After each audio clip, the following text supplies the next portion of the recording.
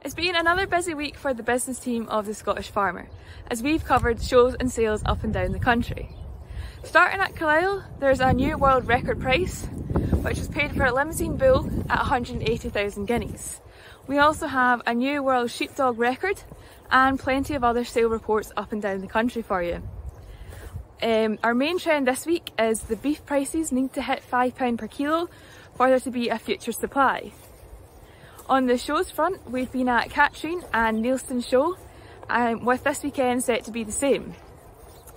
Later in the paper, we have the Grass and Muck special, along with the Scottish Horse. And Catherine spoke with Audrey Anderson for our Breeders of Our Time. It's another one not to be missed.